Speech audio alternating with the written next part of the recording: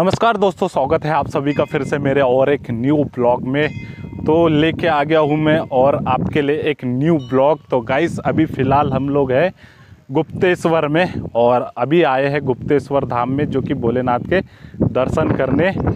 और ना, यहाँ पे जो जो है, सारे यहाँ पे मंदिर वगैरह और बहुत सारे, यहाँ पे एक शिवलिंग भी है जो कि उसके ऊपर हमेशा हमेशा जल गिरते रहता है और जल अभिषेक होते रहता है भोलेनाथ के।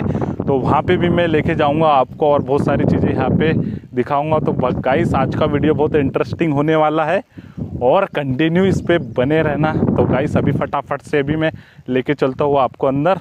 गाइस एक चीज़ और बता दूँ कि यहाँ पे शिवरात्रि के टाइम में मेला भरता है और बहुत विशाल मेला होता है यहाँ पे। और देख सकते हैं, अभी भी ना काफ़ी गाड़ियाँ यहाँ पे खड़ी है जो कि भोलेनाथ के दर्शन करने आई तो चलते हैं गाइस अब मैं भी आपको करवाता हूँ दर्शन और मैं भी करता हूँ दर्शन।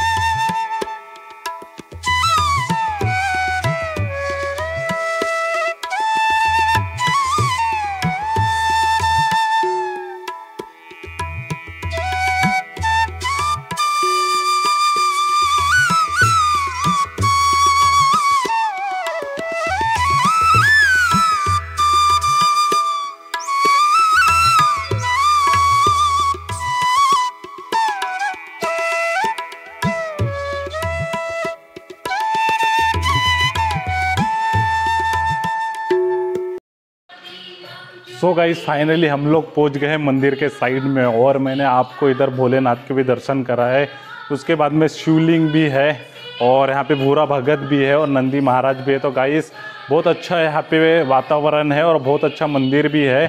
तो गाइस ये चौरागढ़ गुप्तेश्वर के नाम से जाना जाता है, जो कि पचमढ़ी में स्थित है ये मंदिर चौड़ागढ़ के नाम से। तो गाइस यहाँ पे भी चौ, चौरागढ़ करके गुप्तेश्वर के नाम से शिव जी के नाम से जाना जाता है ये मंदिर।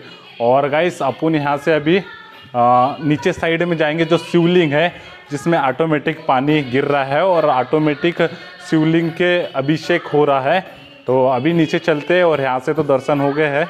और नीचे का मैं थोड़ा व्यू बता देता हूँ आपको।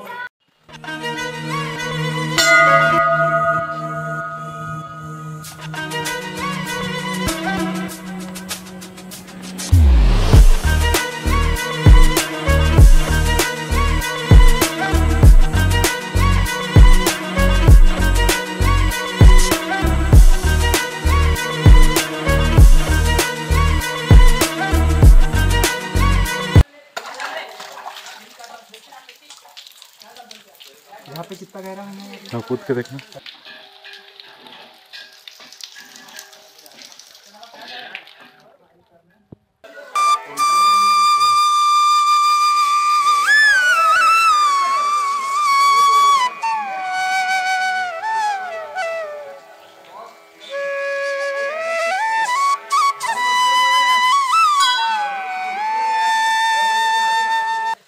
तो गाइज़ फाइनली हम लोग आगे हैं शिवलिंग के पास में, जहाँ पे ऑटोमेटिक पानी गिरता है।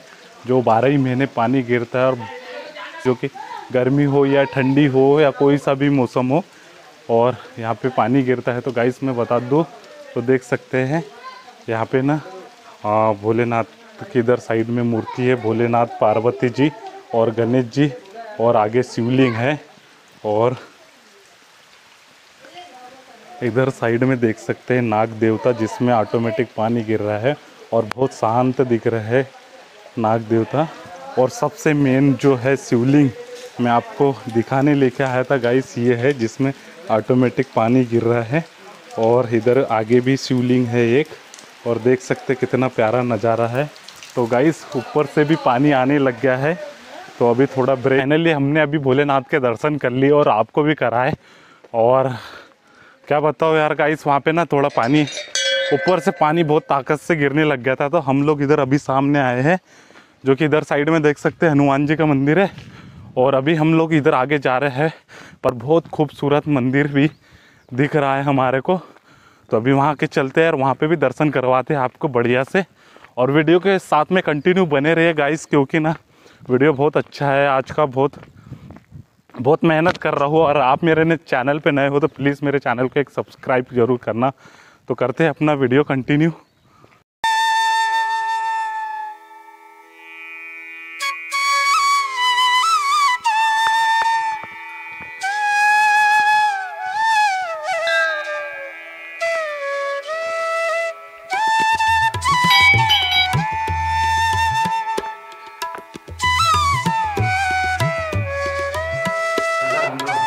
लिए हम लोग आगे हैं उधर दर्शन करके। भोलेनाथ के जो शिवलिंग मैंने आपको बताई, जिसमें ऑटोमेटिक पानी गिरता है, वो बारह महीने पानी गिरता है, पता नहीं कहाँ से आता है बट उस पर शिवलिंग पे पानी गिरते रहता है।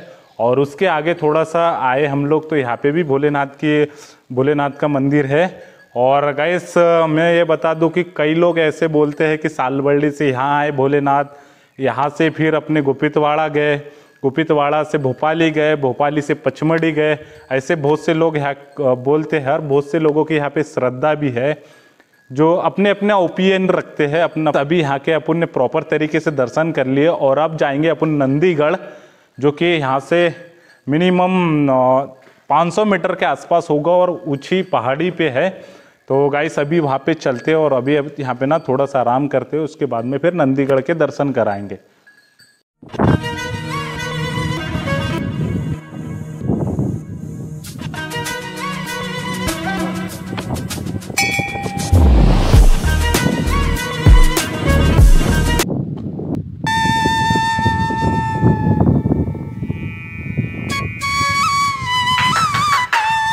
गाइस फाइनली यार हम लोग अभी पहुँच गए हैं नंदीगढ़, जो कि देख सकते हैं इधर साइड में है नंदीगढ़। नंदी भगवान और आगे है शिवलिंग, और ना यहाँ पे लगा है ताला।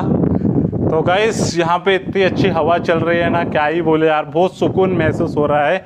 और ना, बहुत ऊँचे पहाड़ियों पे हम लोग बैठते बैठते आ रहे हैं पायरी से।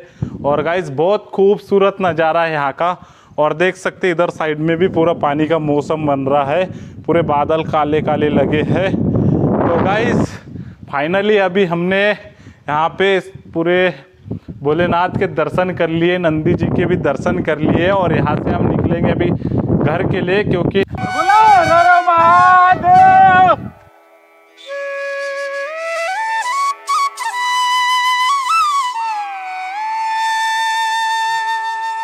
तो गाइस फाइनली हम लोग आ गए हैं दर्शन करके भोलेनाथ के और नंदीगढ़ के।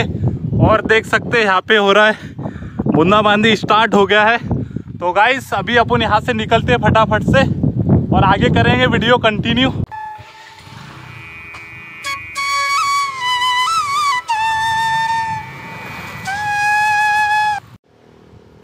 so guys finally यार, हम लोग अभी सातनेर पहुँचे हैं और सातनेर के थोड़ा सा आगे हनुमान जी का मंदिर है और बहुत अच्छा मंदिर है, बहुत यहाँ पे बैठने में ना बहुत अच्छा लग रहा है, ठंडा ठंडा वातावरण है और चौबीसों घंटे यहाँ पे गाड़ियाँ चल रही है, सब चल रहा है और बहुत मज़ा भी आ रहा है।